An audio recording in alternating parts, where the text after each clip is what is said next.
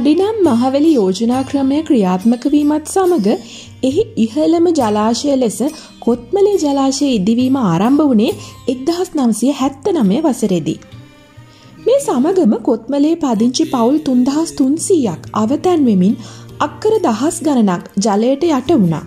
ඒ අතර ඒ ප්‍රදේශය තිබූ විහාරස්ථාන එකොළහකුත් ජලාශය නිසා ඔවුන්ටා හිමි වුණා.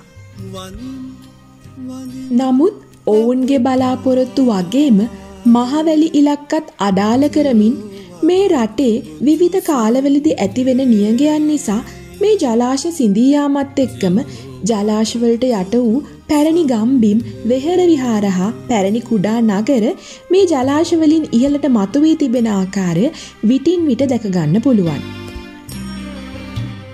ඕතලාව විහාරය කඩදොර ප්‍රියබිම්බාරාම විහාරය නවංගම විහාරය වටද්දර විහාරය තිත්පනේ චෛත්‍යය ආදී විහාරස්ථාන එකොළහක් විතර මේ ජලාශයට යට වුණා.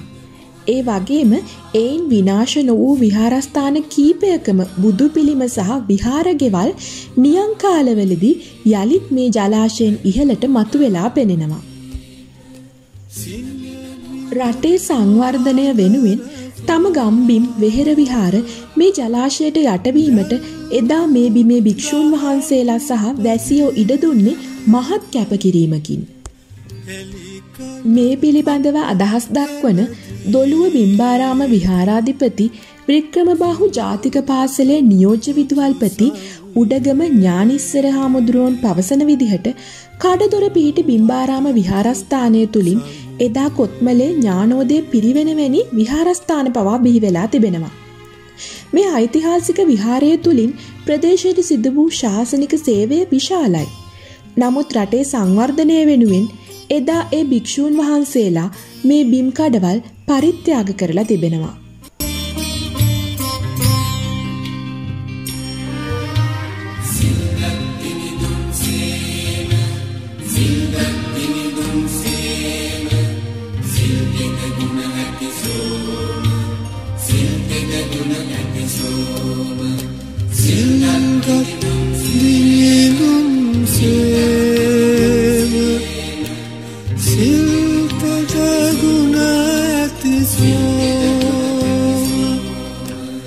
සත අට පෑ මව්පේම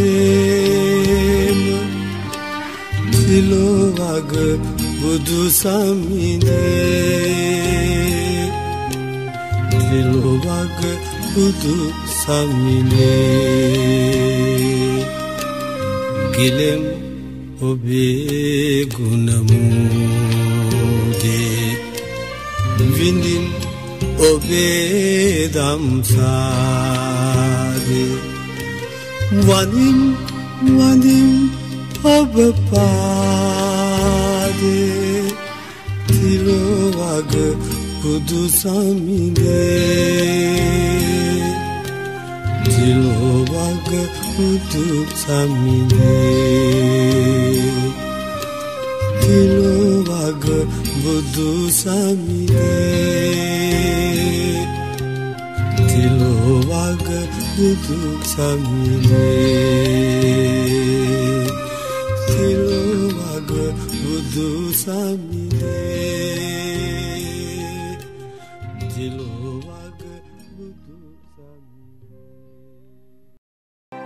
ඉතින් මේ වගේ වීඩියෝ තවත් බලන්න ඕන නම් දැන්ම අව සක්ස්ක්‍රයිබ් කරන්න.